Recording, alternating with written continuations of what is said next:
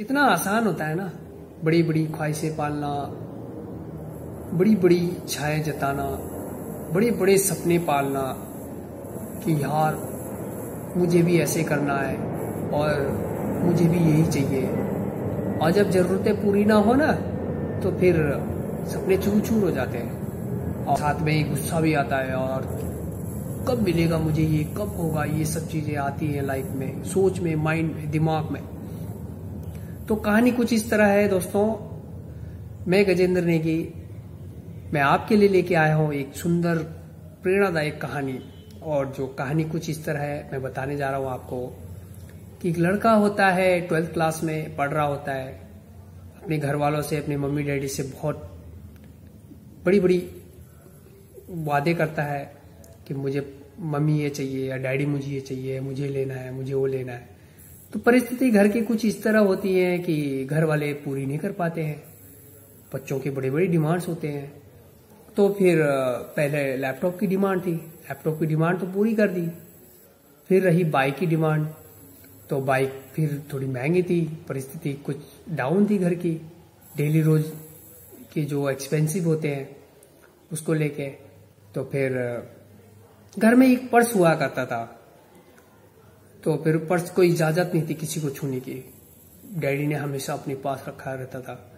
और न मम्मी को थी इजाज़त, न बहन को थी, न किसी को इजाज़त नहीं थी घर में छूने की पर्स को। और साथ में एक दिन गुस्सा आया कि डैडी मेरे सपने पूरे नहीं कर रहे, मुझे बाइक चाहिए। लैपटॉप तो ऑलरेडी दे दिया था।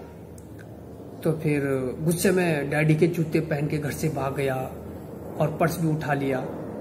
जिस पर्स को कभी छूने की किसी को इजाज़त नहीं होती थी घर में। और रास्ते में जब चलते चलते उसको भाग रहा था, दौड़ रहा था तो उसके पैर में ना वो जूते में एक नुकीला सा एक कील निकल के आई थी जो उसके पाँव में चुप चुप रहा था। और उसको गुस्सा भी बहुत आ रहा था।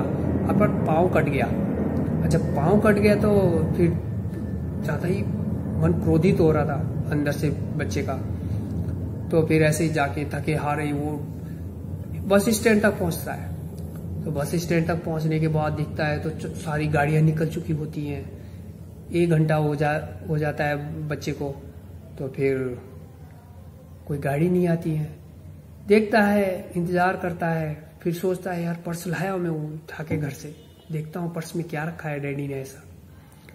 तो फिर पहली पर्ची निकालता, उसमें लिखा हुआ था कि गुप्ता जी के चालीस हज़ार रुपये बकाया है लैपटॉप के। लिए। तो बच्चे को बड़ा थोड़ा हुआ आया मन में। फिर दूसरी पर्ची में लिखा था, कुछ घर घर की जरूरतें जो देने को बाकी थे। तीसरी पर्ची में लिखा था कि पुराना स्कूटर दीजिए और साथ में पैसा भी और नई बाइक ले जाइए।